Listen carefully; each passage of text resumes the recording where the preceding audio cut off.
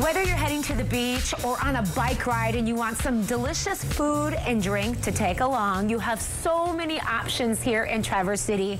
And right now, we're at one of them, Folgarelli's Market and Wine Shop.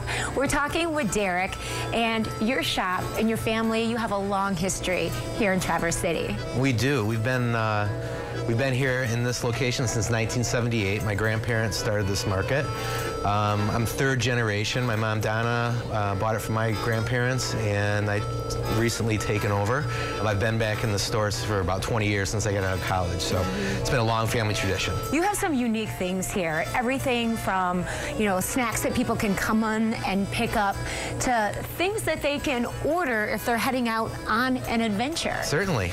Uh, we have a huge selection of sandwiches and some very famous ones around the state and beyond. Beyond that, we have a huge delicatessen full of cured meats and cheeses um, that we certainly can slice by the piece for people to take with them on their journey to the sand dunes or maybe having a party just on the boat. Yeah, and another great thing that people love to do is get a plate, head to a concert at Interlochen. And there's so many options. Folgarelli is just one of them. You have a lot of specialty shops in Traverse City. We're so close to downtown, just west, a couple blocks of the downtown area. It's very easy. It is very easy. I mean, downtown's relatively compact. Um, and within Traverse City per capita, I think we probably have one of the best food cities in the country. So beyond, there's a bunch of specialty stores like ours and all the great restaurants, and there's a number of great eateries and places to visit. You also have a great wine assortment. So to learn more about that, we're going to head back into the wine shop.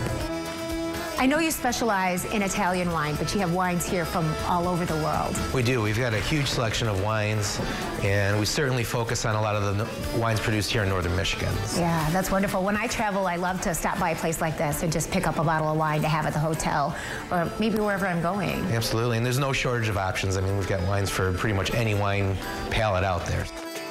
Just down the street from Folgarelli's is Mary's Kitchen Port, and we're here with Mike.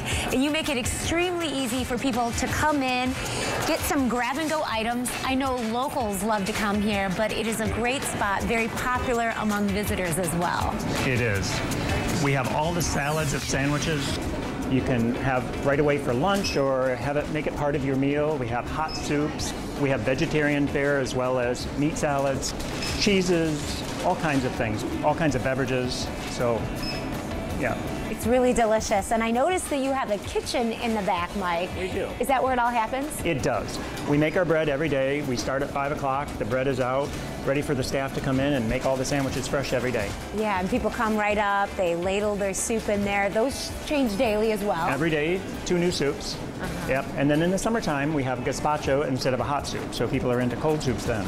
Yeah. Mary's Kitchen Port has been around for over 30 years. That's quite a history here. It is. Thank you. Well, we never tire of it. We are very proud of it. And uh, we have lots of locals who support us. And then we have all the influx of the tourists that come in in the summertime. So we're very grateful. Yeah. And you are more than just making food. You also have a lot of kitchen specialty items. So let's we go do. check those all out. All right.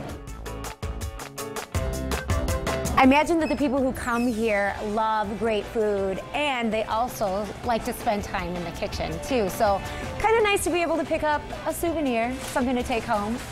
Yeah, a high-end coffee maker or a spaetzle maker or anything that you would need for the kitchen, we probably have. Mm -hmm. I notice you have a lot of jellies and salsas and all, other great items you don't find everywhere. We do. A lot of food items, things for snacking, things for cooking with. Uh, so chips and dips and all kinds of things. Oh, just perfect. Well, thank you for allowing us to stop thank by you. here. So great food for great adventures, all found here in Traverse City. Check it out.